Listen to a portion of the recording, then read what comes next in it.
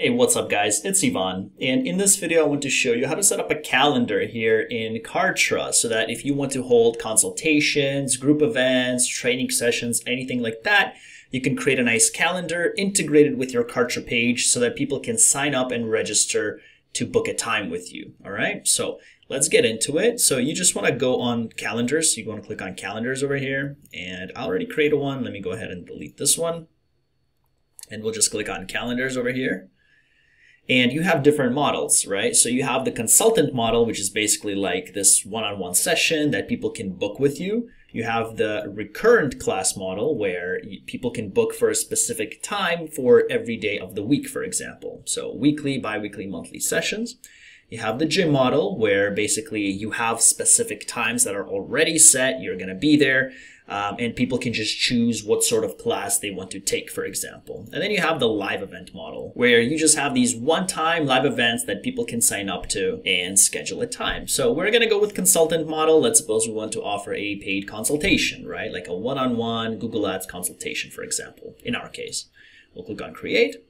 We're going to give, give it a name and we'll say, let's say one-on-one -on -one consultation. So that's the name of our uh, calendar for our reference in case we have many different ones. And then again, we're just going to go from left to right. So let's add our logo. So our logo shows up at the top again.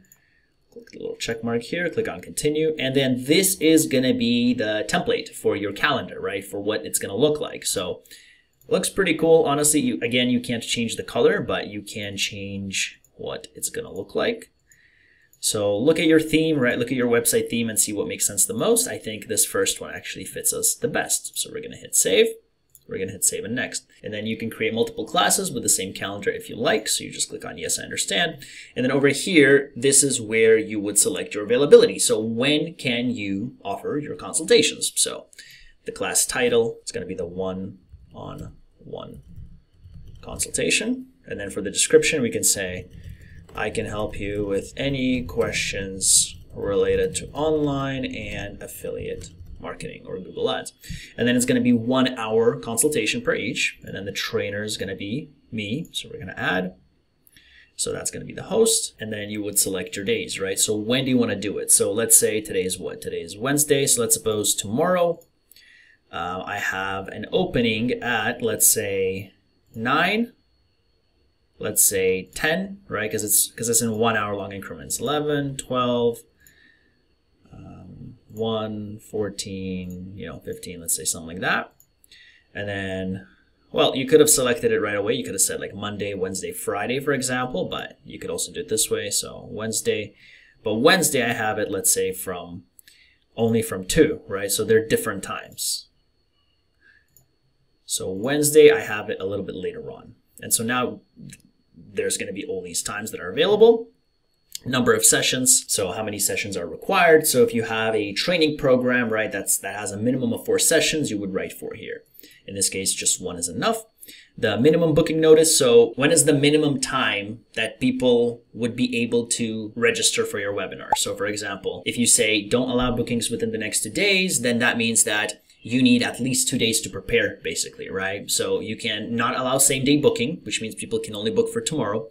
Don't allow bookings for today or tomorrow or for the next days or no minimum booking notice. So people can book whenever they want to. So generally you do want to give some time, right? So like don't allow same day booking, for example, because you don't want somebody to book a call with you for something 10 minutes later because you might be busy. You might look at your schedule and say, well, I have nobody. I'm going to go out and have lunch and then boom, somebody books two minutes before, for example, right?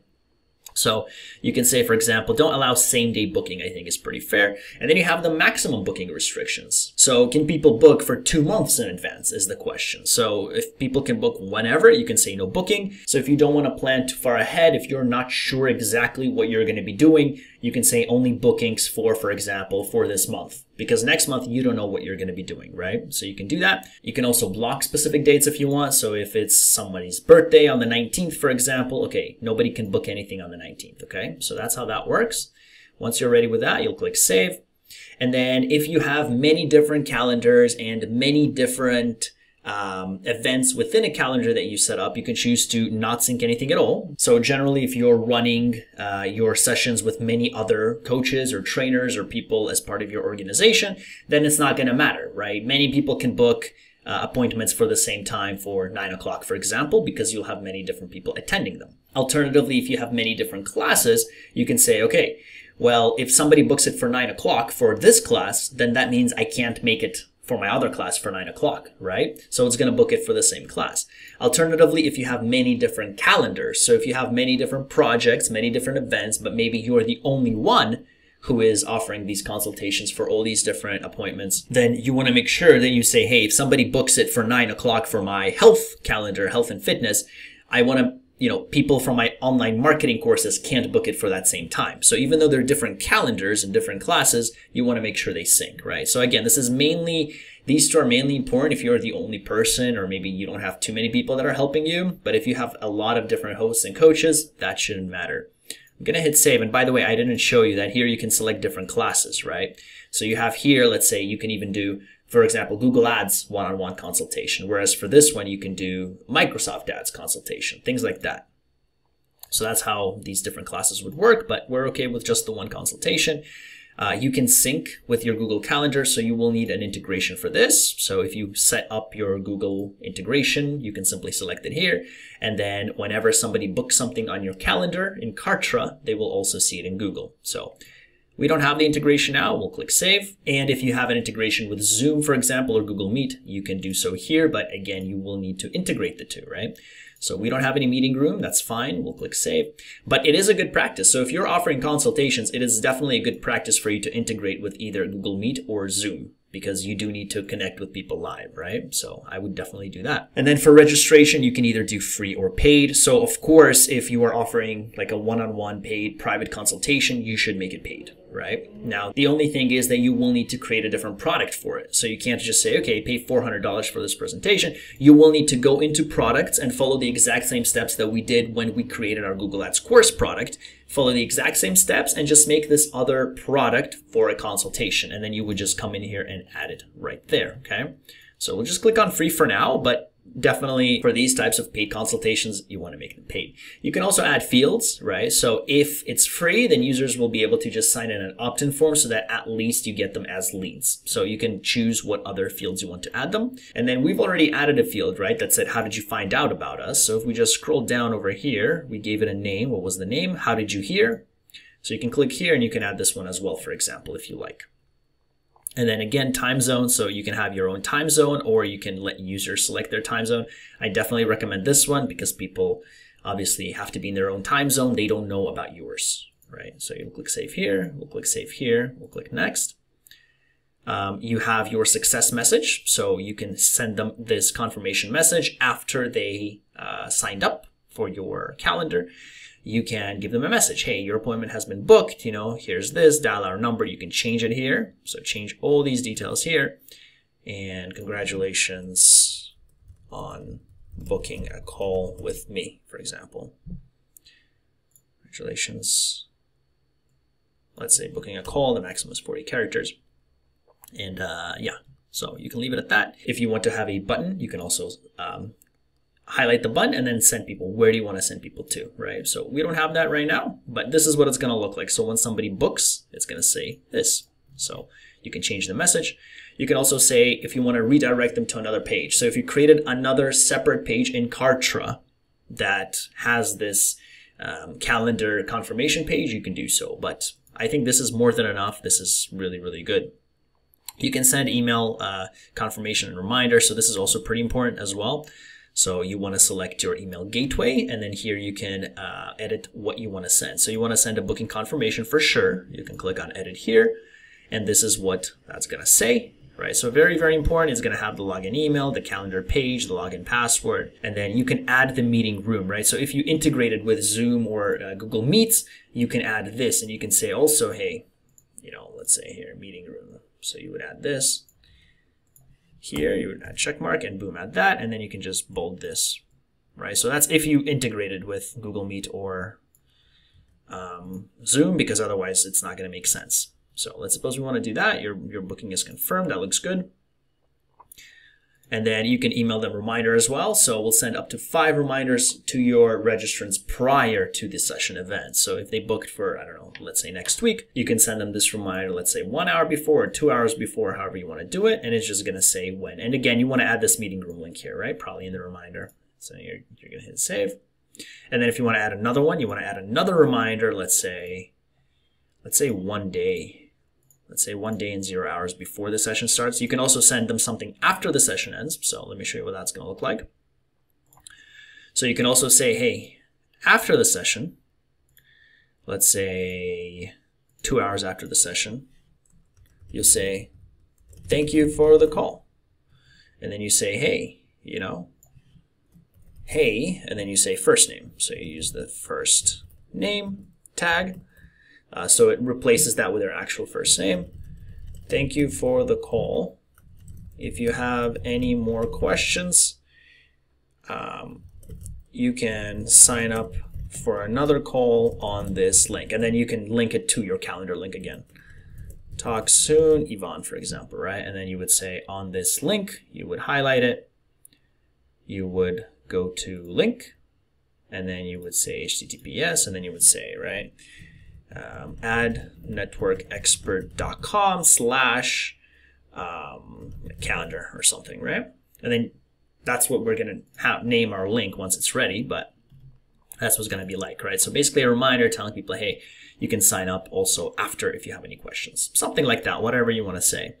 And that looks good. We'll click save. And now we have permissions. So do you want to allow cancellations or not? So people can log in and cancel their reserved bookings. So you can keep this on so people can cancel so you know in advance. We'll click save.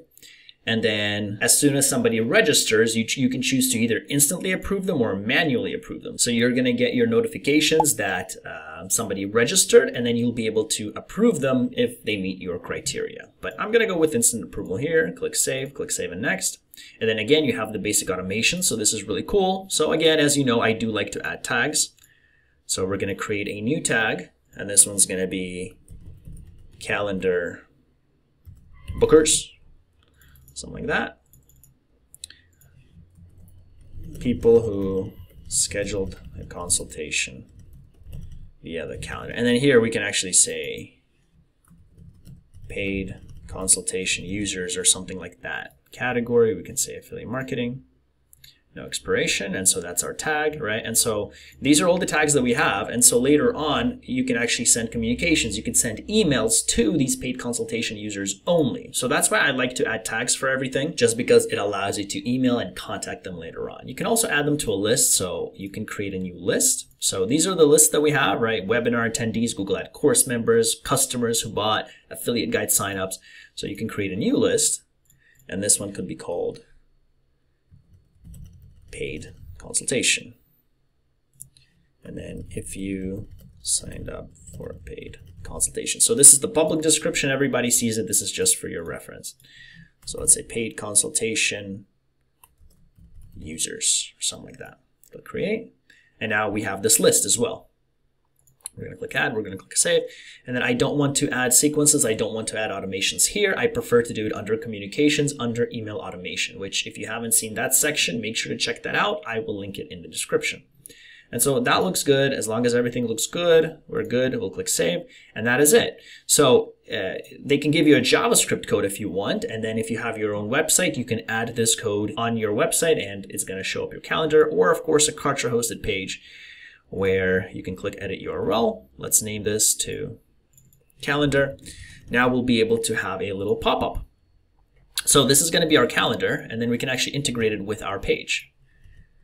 So we can come in here, and this is what the calendar is going to look like, and people will be able to book, right? So it's going to be the ones that are in black are the ones that are available. And then you would select your time, click next, register, how did you hear about us, right? Click next, and then there you go, it's been booked, right? So if we come back here, if you go into communications and you go into leads, you should see the leads here. So if I click on Ivan Mana,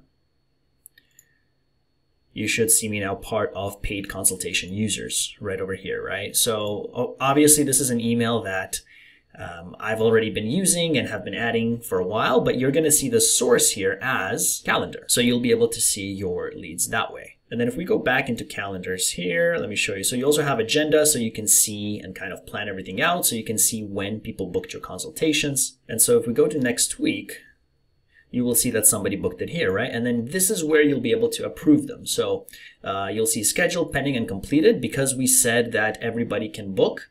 People can book here, but if we selected the pending option, then you would see that over here as well, right? So it's going to say pending. And by the way, I don't like the fact that there's no face here. So let me just quickly change that. If we go to profile, uh, let me just change the image here. Make sure you go to profile to change the image so it looks nicer. And then let's say we want to select this one, click confirm, drag it up, click confirm, click save. And so there you go, that's been added. So now if we come back in here to refresh the page, we should see our face there. So it looks a little nicer. And so now if we go to pages, Let's go back to our Google Ads training course. Let's come back in here. Let's click on edit. Let me show you how you can actually add this calendar now to your site. So add this little consultation here. Give it a second to load. So if we scroll down here, so we had the webinar here, right? But now let's suppose we're gonna duplicate this section. We're gonna clone it. And then we say, looking for one on one consultations. I got you covered. And then here we can say, click edit here and give it a second to load. Click on text, click on book a consultation now. And then we can go to link and then we can say pop a Kartra calendar over here. And then we can select the calendar. And then you can select if you want to show it in a different page like this, or if you want to show it as a pop-up. And I like to do it as a pop-up. So I'm just going to do it like this so that people stay on this page. We're going to click on apply. And there you go, right? And so now if we save progress, you should see it all on the page. So it's been saved successfully, but we have to publish it, publish it live. And let's go back to our page. So adnetworkexpert.com. Let's come back here. So if we scroll down, so this is the webinar right? People can register and then you have the consultations. People click here and then boom, people can choose the date and time. And notice how on the 25th, the 15 o'clock is no longer available because it's already been booked because we selected that sync option, right? And then these people, they can click on my appointments as well. They can enter their email address and password that was emailed to them and they'll be able to log in and see their appointments. And then for the email, let me show you what that's going to look like. So in the actual email, you're going to see something that looks like this. Your booking is confirmed, right? It says here's a quick summary. And then here are the login details. So the login email, the login password. So if you log in with these details, then people will be able to see their own um, all of their appointments that they've already set. And so that's pretty much it. So we can go back. That pretty much does it for all of that. And that is how you create a calendar here in Kartra and how you integrate it into your sales page and make it look nice and dandy. If you guys haven't taken advantage of my exclusive Kartra offer, I do suggest that you do. If you just go over to go.ivanmana.com slash Kartra, I give you a 30-day free trial and 20% off on your first payment. So a cool exclusive offer you cannot get just by going to Kartra.com. So as long as you enter this coupon code and use the link go.ivanmana.com slash Kartra, you should be eligible. All right. So that is all for this video. Thank you for watching. I will see you in the next one.